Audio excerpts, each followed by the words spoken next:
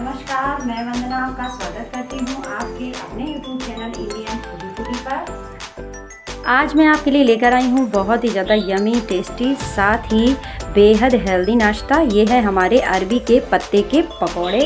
अरबी के पत्तों में बहुत ही अच्छी मात्रा में vitamin C vitamin A vitamin B six वगैरह पाया जाता है, जिसकी वजह से ये पत्ते हमारे लिए काफ़ी ज़्यादा फ़ायदेमंद होते हैं। कुछ लोगों का कहना है कि इन पत्तों की रेसिपी को खाने के बाद उनके गले में खराश वगैरह रहती है या पेट में भारीपन आ जाता है।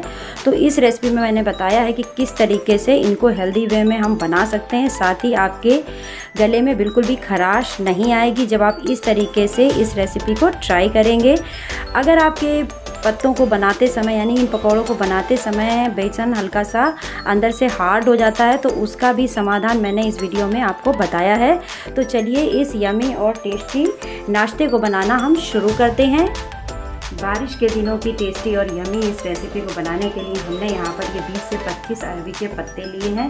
पत्तों को हमने अच्छे से वॉश करके ले लिया है। पत्तों को हमने ओपन करके अच्छे से देखिए वॉश कर लिया है। आप चाहें तो पत्तों को थोड़ी देर के लिए पानी में भी भिगो करके रख सकते हैं। उससे इनकी सारी इम्प्योरिटीज़ निकल जाती हैं। उसके बाद ये जो इसके पीछे बैक साइड में ये डंठल होता है, इसको भी हमने कट करके निकाल देना है।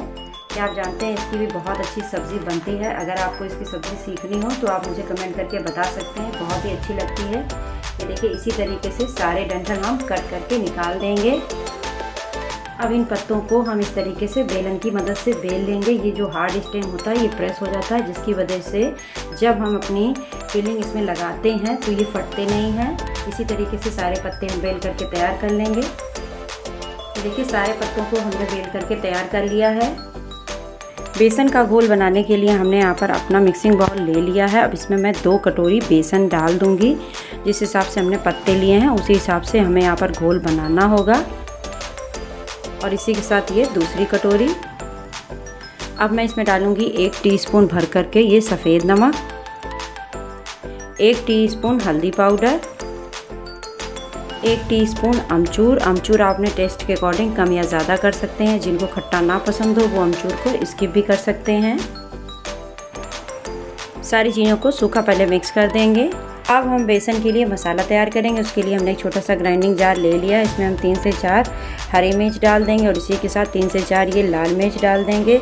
और ये 20 से 25 लहसुन की कलियाँ इनको हमने अच्छे से पील करके रख लिया है। वॉश भी कर लिया है। इनको भी हम इसमें डाल देंगे। और इसमें मैं डाल रही हूँ एक बड़ा चम्मच भर करके ये साबुत ज़ीरा। ज़ीरा इसमें अच्छी क्वालिटी से डालिएगा। इसी के साथ इसमें डाल रही हूँ मैं एक टीस्पून भर करके ये साबुत काली मिर्च। अब मैं एक छोटा सा तेज़ पत्ता ले रही हूँ, इसको भी मैं तोड़ करके इसी में डाल दूँगी। इसी के साथ ये तीन से चार मैं लौंग भी ले रही हूँ, इसको भी मैं इसमें डाल दूँगी। इसी के साथ ये जो मसाले वाली इलायची होती है इसके बीज मैंने निकाल लिए हैं, इसको भी मैं इसमें डाल दूँगी। अब मैं इसमें डालने जा रही हूँ दो बड़े चम्मच ये धनिया पाउडर। देखिए इस तरीके से। अब हम इसमें थोड़ा सा पानी डाल देंगे और इसको कवर करके इसका बारीक पेस्ट तैयार कर लेंगे। ये देखिए मसाला हमारा बहुत ही अच्छे से ग्राइंड हो चुका है। अब हम इसको बेसन में निकाल लेंगे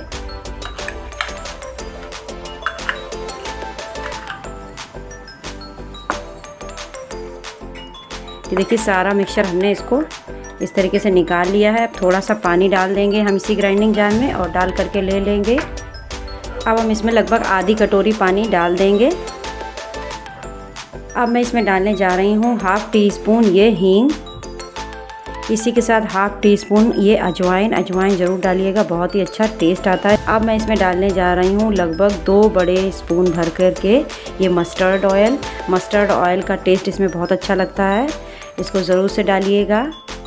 यहाँ पर रिफ़ाइन का इस्तेमाल मत करिएगा, आप चाहें तो देसी घी का इस्तेमाल कर सकते हैं।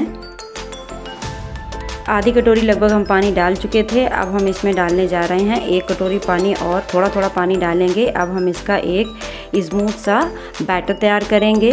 ये देखिए, इस तरीके से थोड़ा थोड़ा पानी डालते जाइए। एक साथ सारा पानी डालने से इसमें लम्स आ जाएँगे और इसका हमें बैटर तैयार करना है। ये देखिए, बिल्कुल स्मूथ बैटर हमारा तैयार हो चुका है। यहाँ पर लगभग हमने दो ही कटोरी पानी डाला है। अब हमने एक पत्ता ले लिया है। इसको हमें उल्टा करना है। अब हम इसके ऊपर अपनी स्टफिंग लगाएँगे। अब जो हमने घोल तैयार किया है, उसको हम अपने पत्ते के ऊपर डाल देंगे और अच्छे से चारों तरफ़ इसको हम फैला देंगे। देखिए, आप चाहें तो हाथों की मदद से या फिर किसी ब्रश की मदद से इसको फैला सकते हैं। मैं इसको हाथों से ही लगा रही हूँ। देखिए, हाथों से ही अच्छे से लग जाता है चारों तरफ़।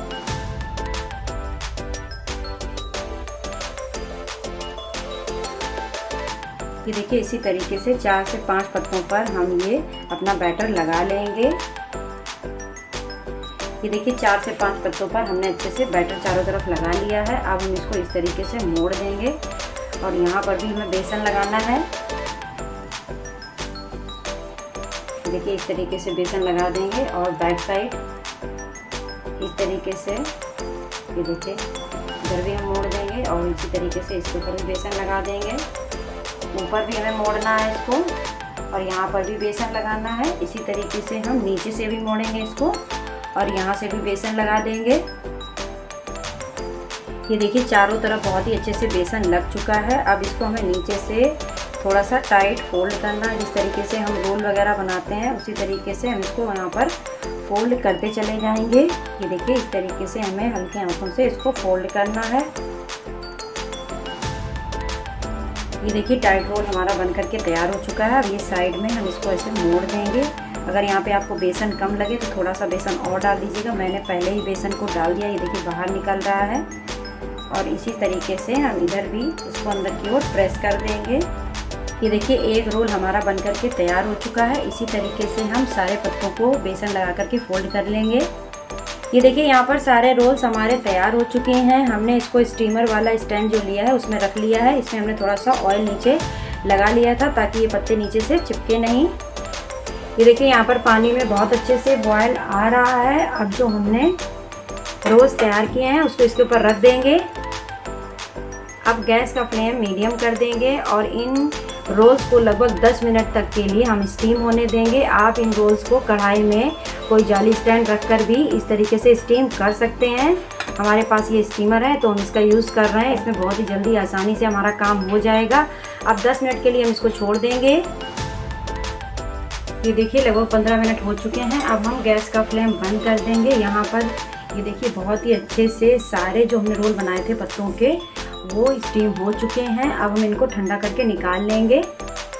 पत्तों को ठंडा करने के बाद हमने एक चॉपिंग बोर्ड पर निकाल लिया है। अब हम इनको कट कर रहे हैं। इनको हम लगभग एक इंच के पीसेस में कट करेंगे। ये देखिए, ये हमने यहाँ पर ये कट करके रख भी लिए हैं। ये देखिए, इसी तरीके से हमें इनको कट करना है। इसी तरीके से हम सारे पत्तों को कट कर लेंगे। एक ज़रूरी चीज़, अगर आपके पत्ते बहुत ही अच्छे से स्टीम हो चुके हैं तो उनका कलर इस तरीके से डार्क ग्रीन हो जाएगा। और इस तरीके की जब आप ये रेसिपी ट्राई करेंगे, यानी कि जब ये आप खाएँगे तो आपके गले में खराश बिल्कुल भी नहीं आएगी। साथ ही हमने इसमें अजवाइन और हींग का भी इस्तेमाल किया है, जिसकी वजह से ये हमारे पेट में बिल्कुल भी भारीपन नहीं आने देगा।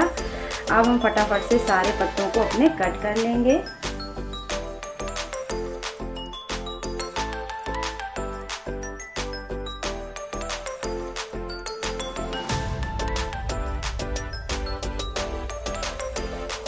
ये लीजिए सारे पत्ते हमारे कट चुके हैं। अब हम इनको फ्राई करेंगे। आप चाहें तो इनको डीप फ्राई कर सकते हैं, लेकिन हमने इनको स्टीम के टाइम पर ही बहुत ही अच्छे से पका लिया है। तो अब हम इनको करेंगे शैलो फ्राई गैस के ऊपर हमने अपना पैन रख लिया है। अब हम इसमें शैलो फ्राई करेंगे अपनी इस रेसिपी को। ये देखिए थोड़ा सा ऑयल हमने इसके ऊपर ऑलरेडी डाल लिया है। यहाँ पर भी हमने मस्टर्ड ऑयल का ही इस्तेमाल किया है। इसी तरीके से हम इनको अच्छे से सेक लेंगे।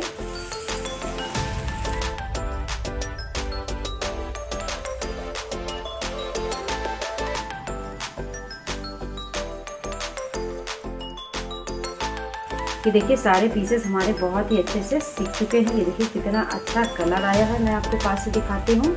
अब हम इनको सर्व कर लेंगे। ये लीजिए, मैंने अपने टेस्टी और यमी पकौड़ों को सर्व कर लिया है। इसके साथ मैंने आज सॉस रखा है।